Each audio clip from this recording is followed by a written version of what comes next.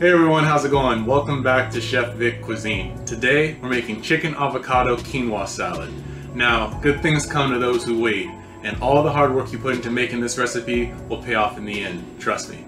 So, let's get started. Alright, so for the ingredients, you have three main categories. You have the chicken, the quinoa mix, and the salad. For the chicken, you need a pound of boneless, skinless chicken breast, and you're to cut that into strips and you're going to need four tablespoons of olive oil plus one tablespoon of olive oil for cooking. Then you're going to need the juice of one lime or about two tablespoons. Then you're going to need two to three garlic cloves minced, one shallot finely chopped. Then you're going to need half a teaspoon of freshly ground black pepper half a teaspoon of cayenne pepper, half a teaspoon of paprika, about four tablespoons of chopped fresh cilantro, four tablespoons of chopped fresh basil,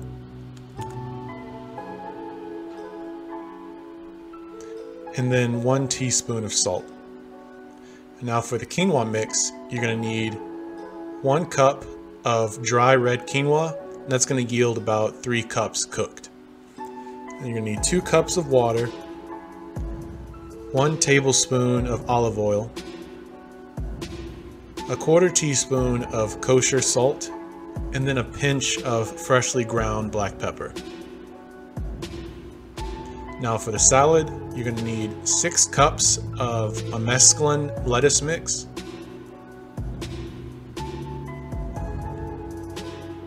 two avocados that you're gonna thinly slice up, two medium tomatoes that you're gonna slice up, and then for the dressing, you're gonna use some lemon juice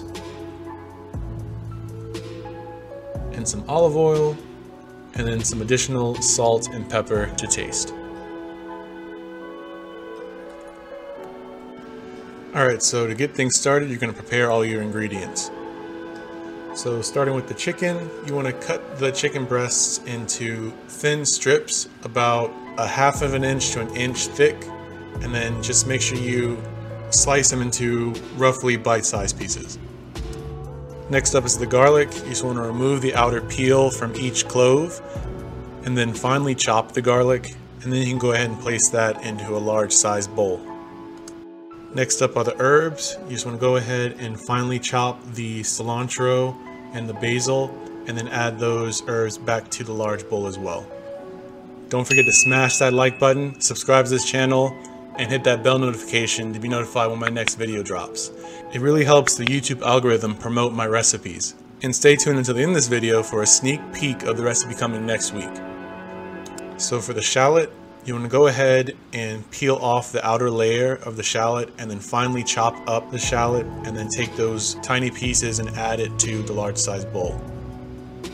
Just take your time chopping up the shallots. You want to go ahead and double back and triple back on the chopping process, making sure that you get as fine of pieces as you can from the shallot. Next up, you want to add the olive oil to the bowl, as well as the juice of one lime.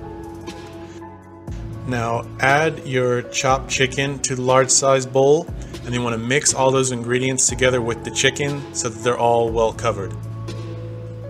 Once those ingredients are well mixed, you can go ahead and start adding in the black pepper, the cayenne pepper, the paprika, and the salt. And you want to go ahead and toss all those ingredients together until all the chicken is well coated.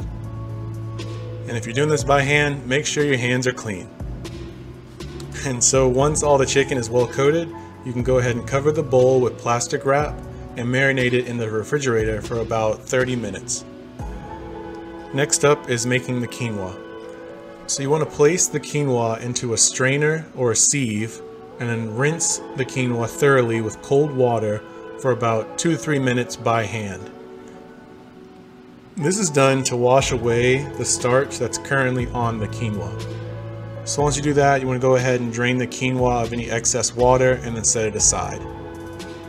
And now you want to heat about a tablespoon of olive oil in a medium-sized pot over medium-high heat or 375 degrees Fahrenheit or 190 degrees Celsius.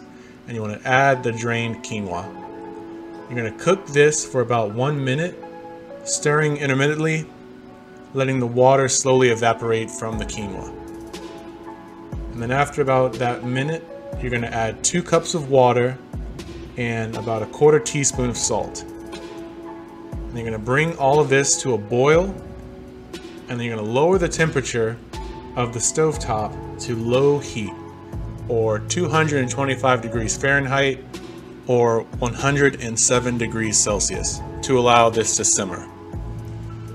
You want to cover the pot and allow the quinoa to cook for 15 minutes on low heat.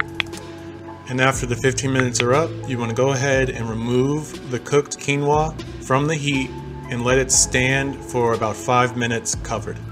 And so while the quinoa cooks, I like to cook the chicken simultaneously. So you want to heat a medium-sized frying pan to medium-high heat or 375 degrees Fahrenheit or 190 degrees Celsius and you want to cook the chicken in one tablespoon of olive oil until all the chicken is cooked through, flipping each piece intermittently so that all sides of the chicken cook evenly. And then once all the chicken is cooked through, you can transfer it to a plate to cool and set it aside. And listen to me when I tell you the smell of this chicken is so good while you're cooking it, just wait until you have your first bite. After the five minutes are up, you can go ahead and fluff the quinoa gently with a fork after it's had time to rest. And so this is the texture of the quinoa that you're looking for. And for final touches to the quinoa, you want to go ahead and stir in a tablespoon of olive oil and the black pepper and mix it all together until it's well combined and then set it aside. Now on to the rest of the salad ingredients. You want to take your two tomatoes and then chop them into small bite-sized pieces. And always be mindful when you're cutting tomatoes as the skin can be firm, but then the tomato itself can be slippery at times. So always have a firm grip when you're slicing the tomatoes. Next up are the avocados. You want to go ahead and remove the peels from both avocados, as well as taking out each pit. And you want to go ahead and thinly slice each of the avocados and then set those ingredients aside. And if you use avocados a lot in your recipes like I do, I would definitely suggest investing in an avocado spoon. It has the perfect shape to scoop out all of that good avocado that you're looking for, as well as removing the pit. So if you love avocado, I would definitely say get an avocado spoon for your kitchen.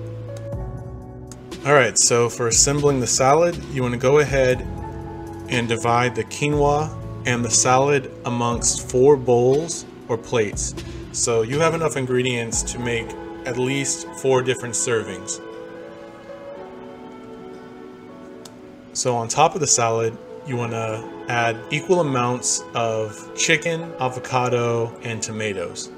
And then for your dressing, you want to drizzle on some lemon juice, some olive oil, and then a light sprinkling of salt and black pepper, and then you're ready to serve this amazing dish.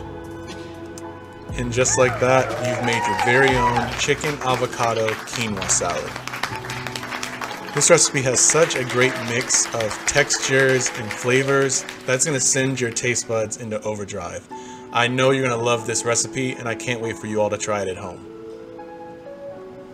And like I mentioned before, this recipe makes a lot of food, so you can easily serve a family or you can use it for meal prep throughout the week. As always, this recipe and many more can be found in my cookbook, Chef Vic Cuisine, Volume 1, Finding Your Inner Chef. And that's available on Amazon, and I'll be sure to leave a link to that in the description box. Thank you all for watching, and if you've enjoyed this video, make sure to smash that like button, subscribe to this channel, and hit the bell notification to be notified when my next video drops. And stay tuned for next week where I show you how to make my delicious recipe for falafel. Well, thanks again for watching, and I'll see you next week on another episode of Chef Vic Cuisine. And until then, peace.